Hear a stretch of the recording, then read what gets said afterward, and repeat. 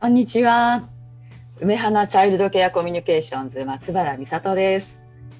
今日は梅花チャイルドケアコミュニケーションズって何？っていうお話をしていきたいと思います。どうぞよろしくお願いいたします。はい。実はこの梅花チャイルドケアコミュニケーションズというのは12月3日に合同会社になりました。それまでは私自身松原美里が自分で研修ですとか何か企画をした時に梅花リレーションズという個人事業主の名前でお仕事をしていたんですね。で流れを言いますともともと私は保育園に勤めてその後に児童養護施設に転職をしそこでやっぱりこう子供に関わっていく大人っていうのの生き様とかその背中によって子供の可能性って変わるなということを実感し児童養護施設の保護者さまざまな事情を抱えている方がいらっしゃるので保護者の支援というところをなんとかできないだろうかと思ったのがきっかけです。児童養護施設を退職しそこからコーチングそして心理学 NLP システム思考さまざまなものを学ぶ中でもっとお役に立てることはないだろうかというふうに思ってですね。で最初はマンツーマンの個人セッションを中心にしていたんですけれどもより多くの方のお役に立てるようにということで講演形式だったり研修形式だったりっていうところに少しずつやり方を広げていったんですね。で結果的に家族のそばにいる人の役に立とうということで保育者の支援を中心に始めていき保育者研修をやっていたんですけれどもでなかなか最初の頃は必要としている人のところに届かないという状況でもどかしさがあった時期もありましてその時期にいろいろなご縁で岩谷学園というところの保育園部の施設長が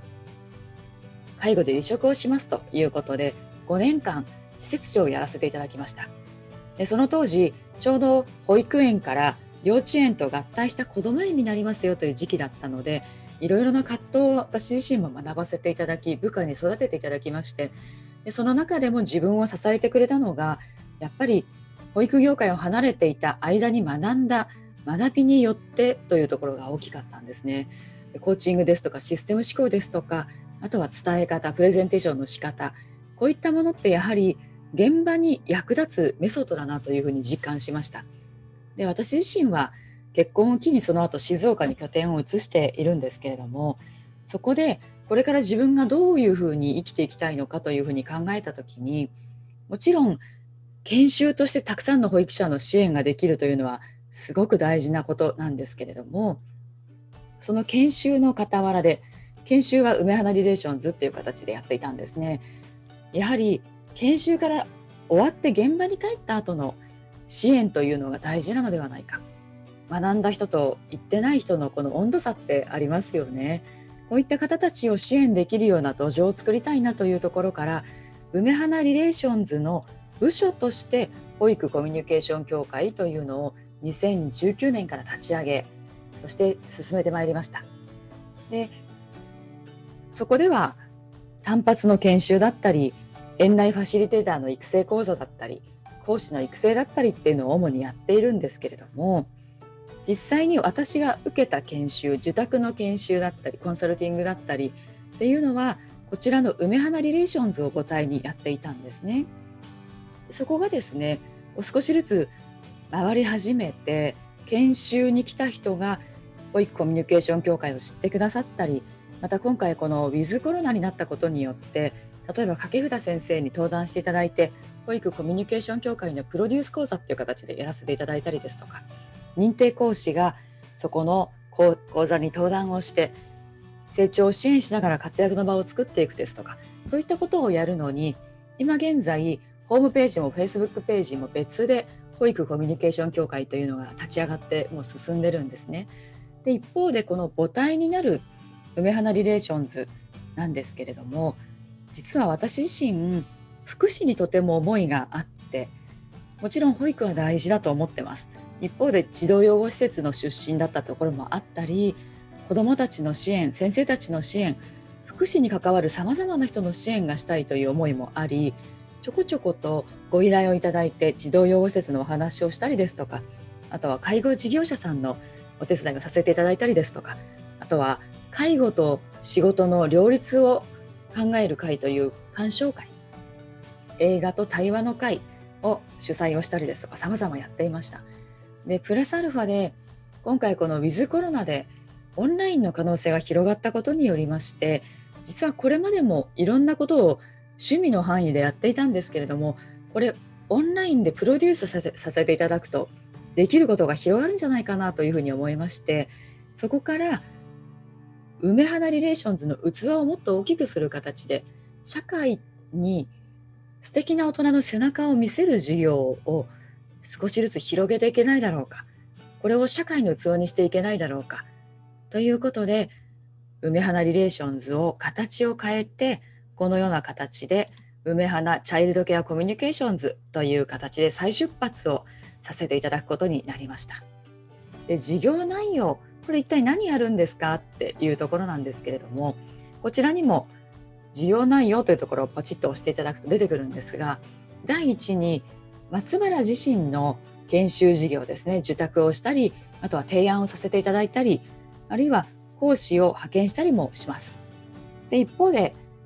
私自身も書籍のこう担当ですとかあとは編集監修もさせていただいているのでそこは引き続きやらせていただきます。また最近少しずつお声かけが増えてきております組織マネジメントですね保育園の運営の支援単発の研修だとそこで終わってしまうんですけれども園内研修もちろんお手伝いさせていただいてますが継続的に1年間じっくり関わらせていただくことによって園の変化ですとか本当に必要な形に研修なのかオンラインファシリテーションなのか園に行って実際に現場を見るのかさまざまな形になることができるのではないかそういったところも今少しずつやり始めています。またファシリテーションというものが実は保育園だけじゃなくて地域ですとか福祉ですとかさまざまな部分で役立つスキルだというふうに私自身も考えております。これをどうやって役立てていこうかこの辺り少しずつ掘り起こしていきたいと考えております。で人材育成及び職業開発のための支援事業ということで人を育てるのが私大好きなんですね。なのでそこをどんな形で貢献していけるのかまた模索をしていきたいなと思っております。また文学歴史に関するオンライン教養講座の企画立案運営なんであなたあの歴史なんですか？実はラブイ歴史の会っていうのを7年ほど主催をしておりましてこれはまた別の動画でお話しますけれどもそれかつてはリアルでやってましたが今オンラインでできるんじゃないかまたこういった体験をすると若いうちから自分の国の歴史だったり文化に誇りを持ち興味を持って自国を正しく愛するっていう風潮が生まれてくるんじゃないかというふうに考えております。また組織や法人組織個人のコミュニケーションに関する助言や指導及びコンサルティング。そして飲食店の企画運営に関するコンサルティング、はい、なぜでしょうか、はい、実は、はい、天野料理長の料理教室っていうのをオンラインでこの間やってたんですね。なんていうふうに飲食店も今ちょっとウィズコロナで難しいところが出てきていると思うんですけれどもオンラインに置き換えることによってできる可能性種まきだったり逆にこういうのできませんかっていうご依頼をお客さんと一緒に作っていくこともできるんじゃないでしょうか。そのあたりの可能性を一緒に模索していく伴走者になれたらいいなと考えております。また各種イベントの企画立案運営および支援はいイベント大好きなんですね私ちょこちょこ考えて例えばラブ網走東京会という地元とあとはお店をつないでその食材を仕入れている、まあ、北海道出身の女性がいるんですけれどもその方と一緒に交流会を開いたりもしておりました。そういう形でいろんなイベントができると楽しいなと思っております。また旅行ツアーの企画立案運営。これまたラブ網走っていう私地元の地域活動をしてるんですけれどもそこの流氷ツアーというのを過去2回ほど企画をしております。でその当時は金通さんと組ませていただきまして企画をしたもので先輩に来ていただいたりですとかってことをやっていたんですがこれからちょっとコロナが落ち着いてからあるいは何か別の形で今オンラインツアーみたいなこともできないかと企んでるんですけれどもそのあたりも何か仕掛けを作っていきたいなと考えております。また、インコなど小鳥愛好家の親睦と交流を交流を図るコミュニティサイトの構築運営管理。これはですね、今、インコ友の会っていうのを Facebook のグループで作って管理をこっそりしてるんですけれども6人から始まって今4600人ぐらいになってるんですね。で今完全無料で管理だけしてますけれどももしも皆様から何かリクエストがあるのであればしっかり有料化にした上で求めているコンテンツを整理することも可能なのではないかと考えております。これは木が熟したら手をつけます。そして舞台芸術の企画立案運営これは実はそうですね私日舞を習ってるんですねで今ウィズコロナになってなかなか行けていないんですけれども着物を着るのが好きなので日舞ですとかそういった所作っていうのをやっぱり習うと習わないでは全く振る舞いが変わるなというふうに思っております。でそのあたりのどうしても通うとなると今リスクがあるんですけれども少しでもエッセンスをもしもオンラインでできるのであれば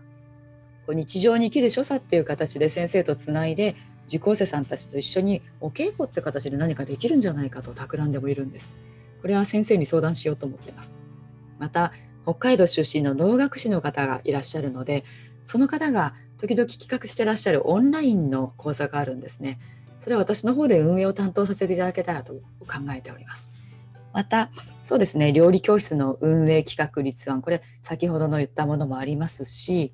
あとは14番目、これに関わるいろんな思いついたこと。